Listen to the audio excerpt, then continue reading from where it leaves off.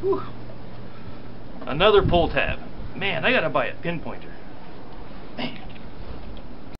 Hey, what do you figure, guys? So, what you see before you here is a little gold button, 18 karat gold button that I made, you know I mean, by melting down my scrapped gold and the broken gold jewelry that I happened to find. Don't worry, the big gold locket and everything else is still intact. This is all from that little gold bar. If you remember from my previous videos, I had a little gold bar I had made just under an ounce of 18 karat gold. Well, I melted it down into shot. I put it into a crucible, heated it up until it was a liquid. I got a great big pot of really cold water and I put two great big blocks of ice into it. And when I got my gold to a liquid, I just poured it out, poured it out blah, over top of the ice so that it would break into little wee tiny pellets shot.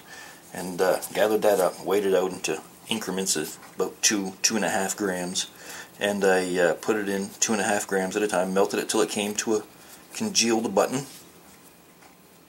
And then I took that button, which was like one of these, and I picked it out and I dropped it into some water, let it cool, dropped it into some vinegar and hydrogen peroxide to give it a bit of a pickle bath to get rid of any of the leftover uh, flux, which is borax. And uh, I put it up onto uh, this thing here, which is a big chunk of railroad rail I got from my brother-in-law. And I took this here, which I dug up with my uh, metal detector, great big honking chunk of spike. And I took those two things, and this great big honking thing, oh my, and I hammered, and I hammered, and I hammered, until I came up with these. 10 18 karat hammered gold coins. I think they're awesome. Pretty thick. Here's a green penny. Thickness of a penny. Thickness of the coin.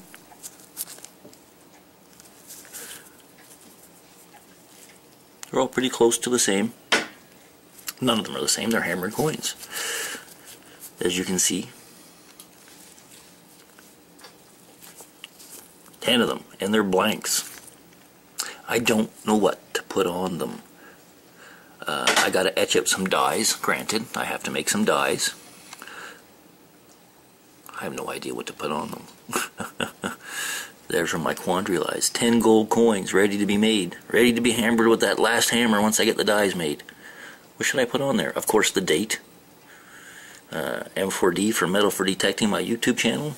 That's kind of corny. I'm just, uh, what would you put on? If you had 10 gold coins to hammer out, what would you put on your dies? Should I put a head? Like a, a King James, a Queen Elizabeth I kind of uh, etching? And then hammer in a face? I don't know what to do. A metal detector?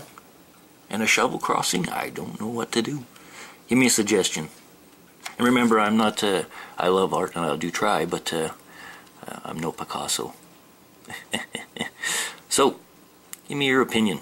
What would you put on a gold coin? Best wishes. Good luck to everyone. Happy hunting if you're a metal detectorist. Happy stacking if you're a gold or silver aficionado aficionado, enunciado it any way you want. 18 karat gold hammer gold coins. Best wishes, everybody. What would you put on them? Talk to you again soon. Bye bye now.